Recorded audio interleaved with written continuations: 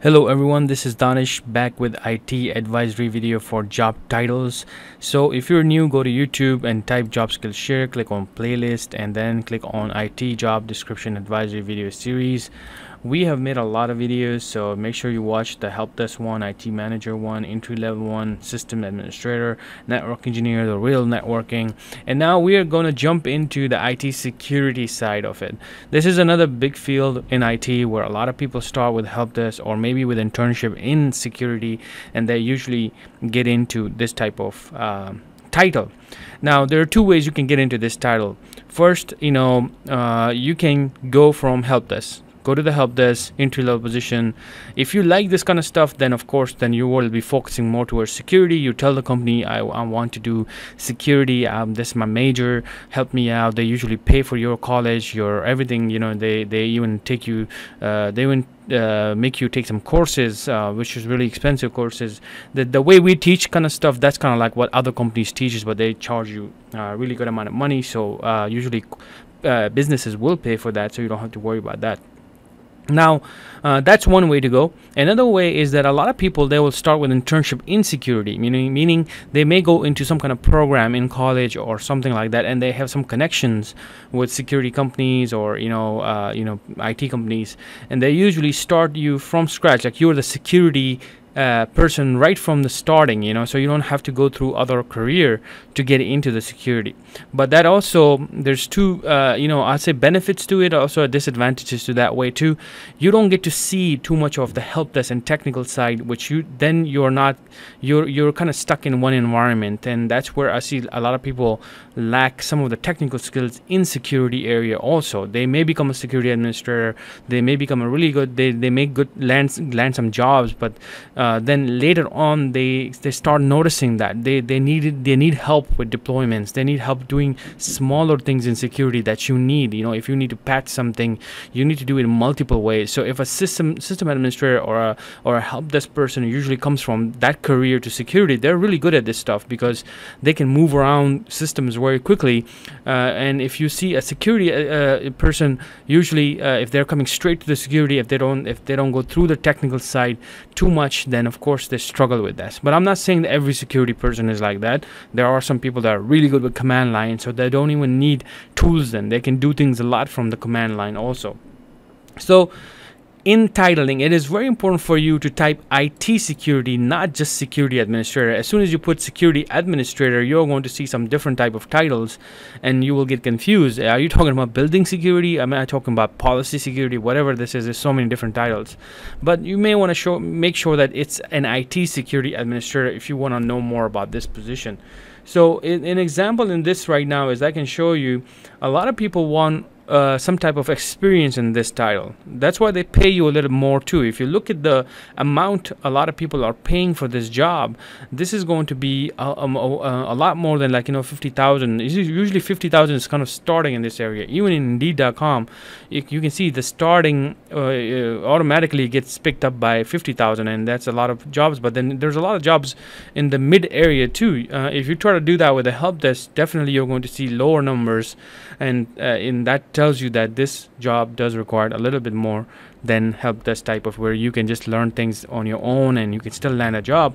And this uh, it's gonna be a little hard for you to land a job because uh, like i said you got to be in some kind of program or you have to show some type of credentials.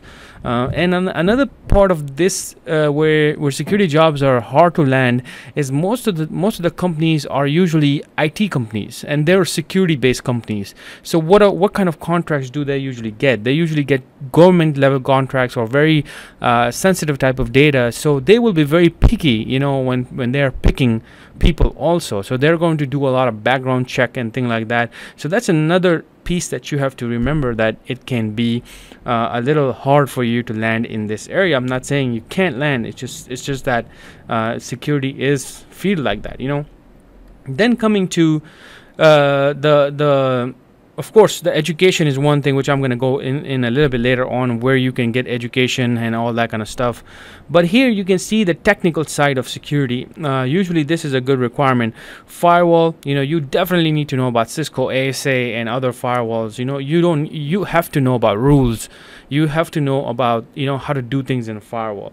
that's kind of very a normal uh, job that for you is going to be like just like in other positions you know some of the terms that people can actually uh, you know uh, when you talk about that term, people automatically know that you know about this career. Like in in a help desk, when you say ticketing system, Active Directory, de- uh, deployments, imaging, they know you know this stuff because then that's where you're kind of uh, telling them that that's what we do in this career.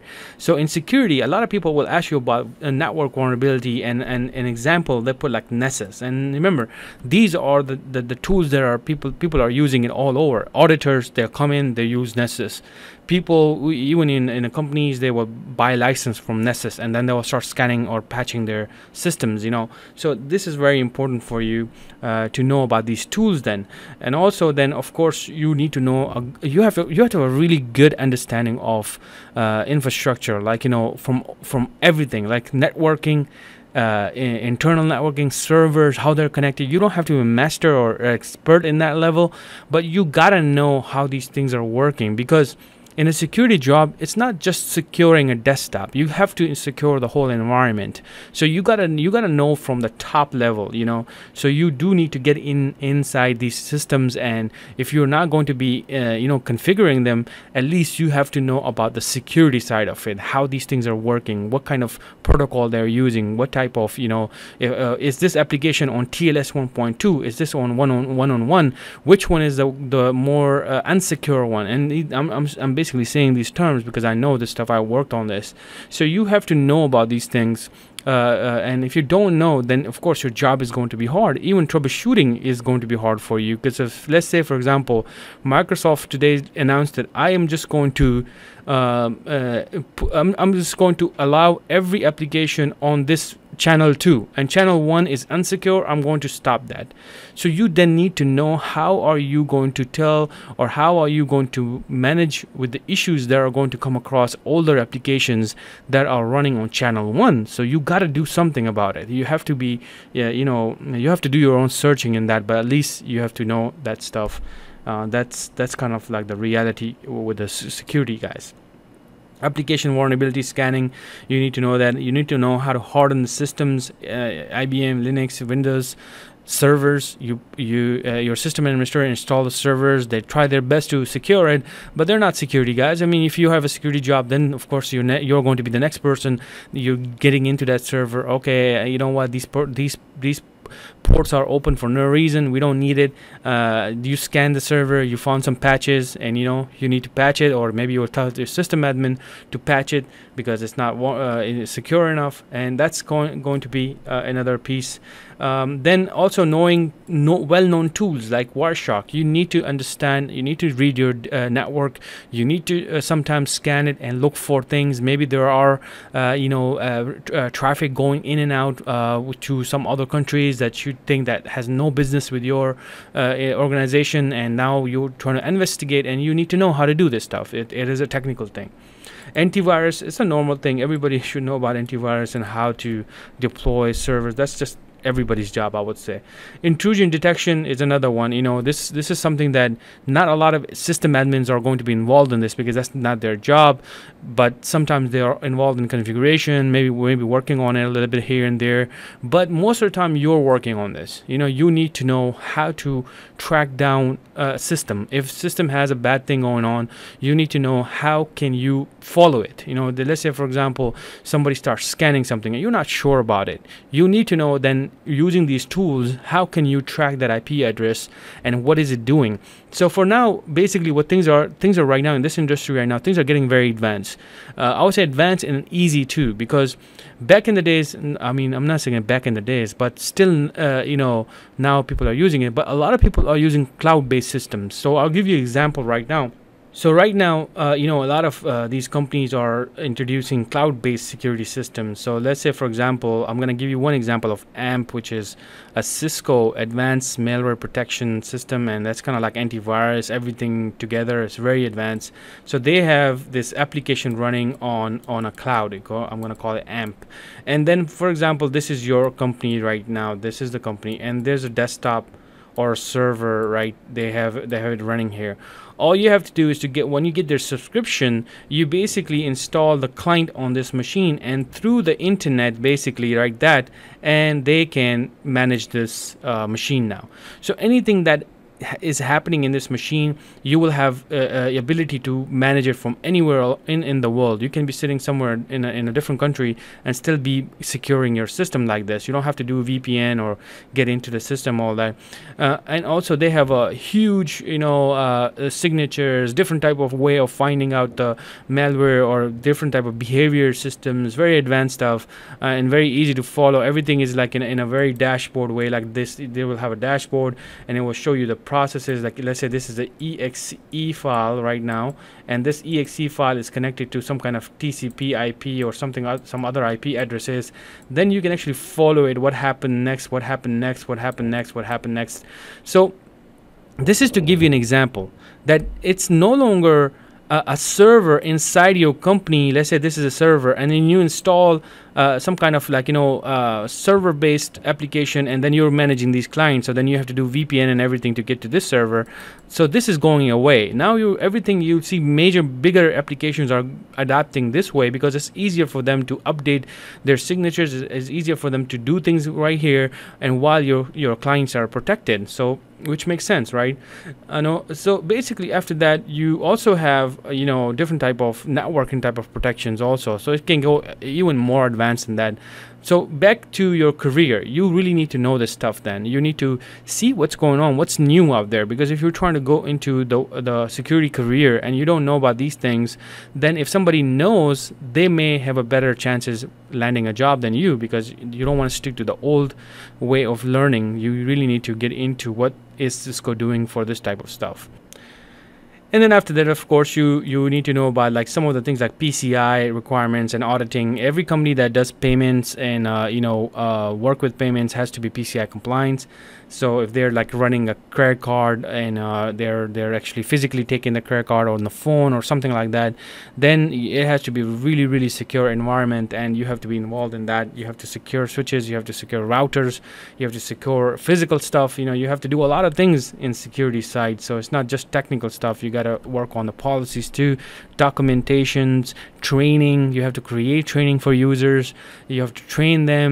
You have to be involved in the phishing type of email, something like that that can you can uh, ch uh, check your user are they really following your documentation and then of course after that basic stuff that involves basic troubleshooting you could be also doing some basic IT support uh, for some companies so that's that's where security uh, administrators usually uh, work on. Another type, big title in this area would be cyber security, cybersecurity analyst, and uh, and similar type of things. You know, they they do the you can see right here, installing, implementing, administering, monitoring, maintaining security architecture, whatever, and monitoring. Most of the time, it's going to be monitoring, monitoring, monitoring. You gotta be you gotta be involved in some type of logging system access level system identity systems where you basically look for some type of access uh, if somebody leaves a company what what type of access this person had?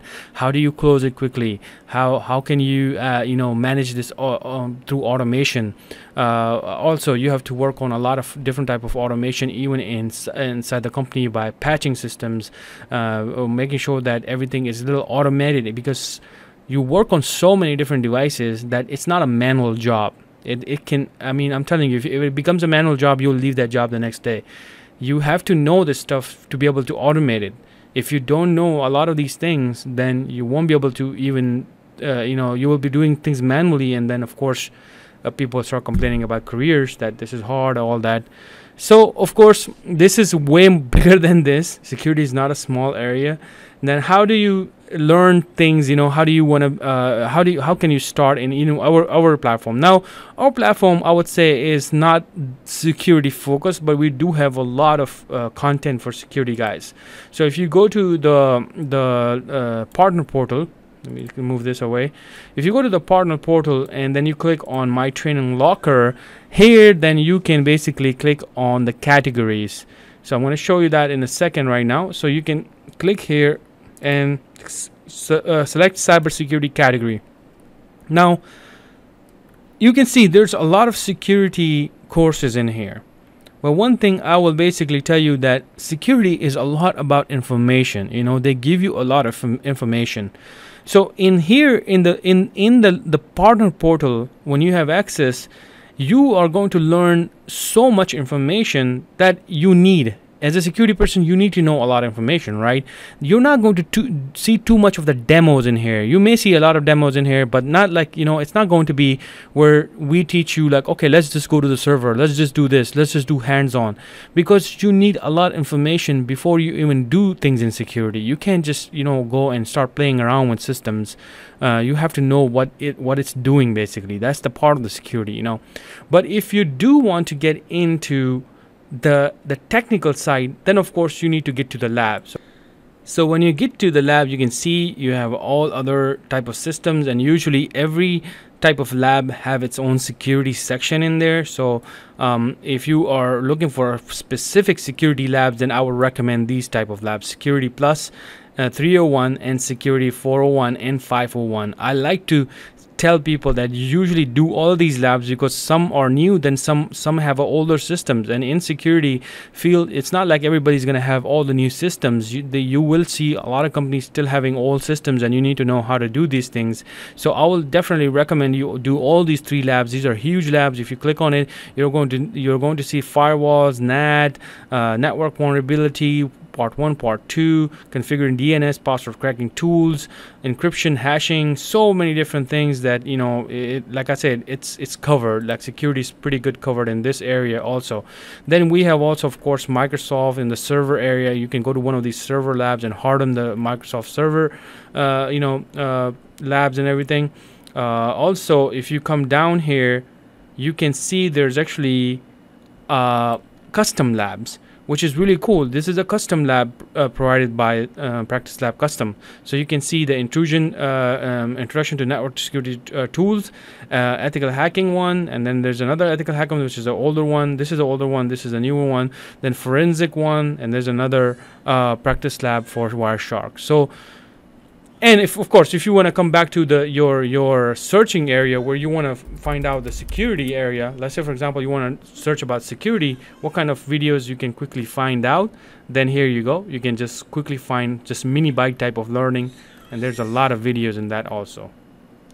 My son is telling me to stop and I'll stop. Thank you guys